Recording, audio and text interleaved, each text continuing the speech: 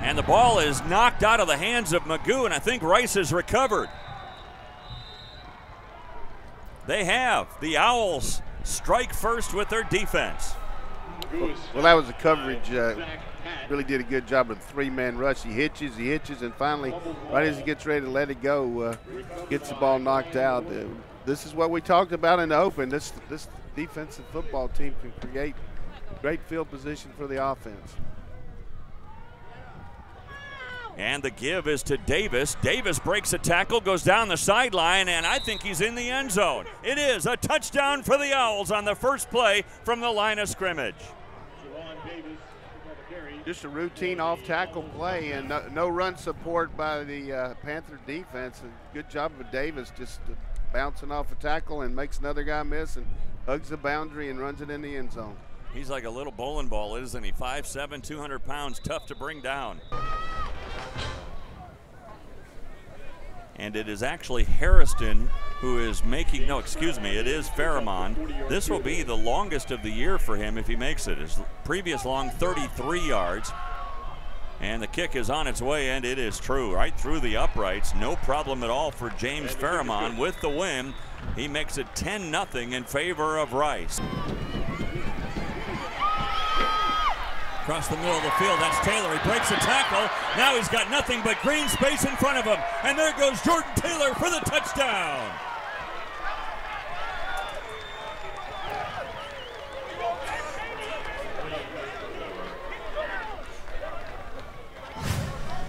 Jordan Taylor lines up in the slot, runs an underneath crossing route. Uh, we don't really get a good shot of him catching it, but we see these other guys come across. And well, I tell you, you talked about 87 yards last week. When he gets that football, he's a big, tall, strong kid. Well, first down here for the Panthers as they get Radcliffe off the field. We'll check on him and see if he's able to come back. And again, McGough on the keeper here, and this time he loses yardage. Boy, they brought the pressure from Nordstrom. And he comes in and was not fooled at all by the fake handoff. Well, you got to tell Nordstrom, hey, stay at home, and that's what he did. McGough, the first time, it was wide open, but Nordstrom uh, kept his body square, looked inside, and then shuffled back to the out. Jackson goes back to throw. Good pocket, and a completion down the middle to Maiden, and he's off to the races. Maiden with a touchdown. No one came over from the safety position, and Maiden with a voyage into the end zone. Well, James uh, Maiden uh, lined up in the slot, and there was a busted coverage. They were playing zone, and nobody zoning down the middle. And one of the safeties went over the top. I'm not sure which one it was, but uh, just wide open. Holes, and also the loss of Covington in the middle for Rice has hurt them. Well, a loss of a couple here. And a big sack.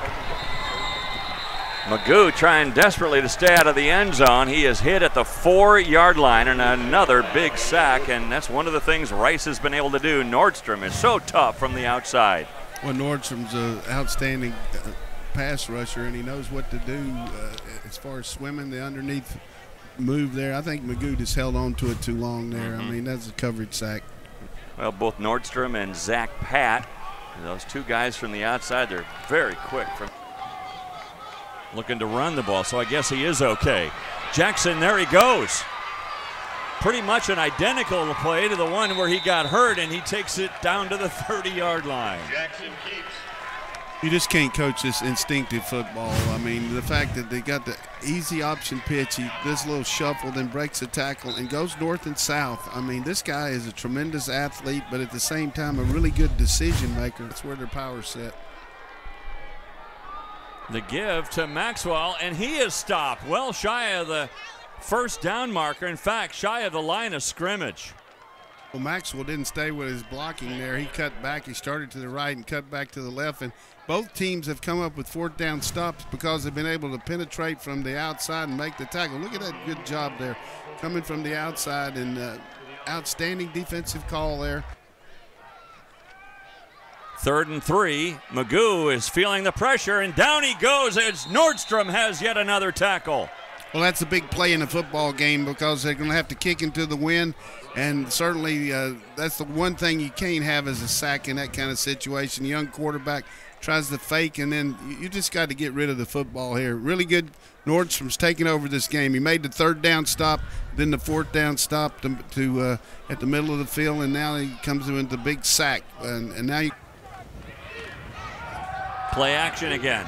Again, looking for Taylor. He's got it. And he'll take it all the way down to the three yard line. Boy, what a tough matchup Jordan Taylor has proven to be all day. The one thing you know about uh, Jordan Taylor, if you put the ball anywhere near his area code, he's going to come up with a nice catch. The ball's behind him a little bit. He goes up and grabs it. Turner following his blockers and into the end zone for the touchdown. Luke Turner with his third rushing touchdown of the year. Well, Turner made the big catch to uh, keep the drive going, and now he runs what you call the owl formation. It's a pretty wise formation, I promise you. They stick it in the end zone, and uh, that's the way you got to be. As a, if you're going to be a championship football team and contend in Conference USA, playing on the road, and you get good field position, you got to stick it in there. Now they back off of that pressure and get him again. And there's a fumble on the play, but it's recovered by FIU where they came around from behind, and it looked like Dylan Clare was the guy that got to him.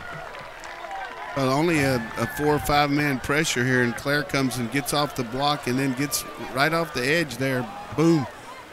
Really get Johnny on the spot by. Uh, Looking to pass. Look at the mobility by E.J. Hilliard. He's trying to get out of bounds and is hit out there by Malcolm Hill for FIU. Hilliard Statue of Liberty play, and he held it too long, and then he fumbled it. Rice has the ball. Ross Winship fell on the fumble. How about Rice on the turnovers here? I think uh, in this situation, Hilliard's got to get rid of the football, third and two, and it looks like he's going to try to throw the ball over the middle. And good job by Winship. Johnny on the spot. This is turnover you both day. So FIU out of timeouts, just over a minute to go and another sack. That is the seventh sack of the day. Seven sacks today by Rice. Hilliard trying to buy some time, and he ran right into Patt. Wow. This has been an unbelievable fourth quarter for the Rice Owls, and just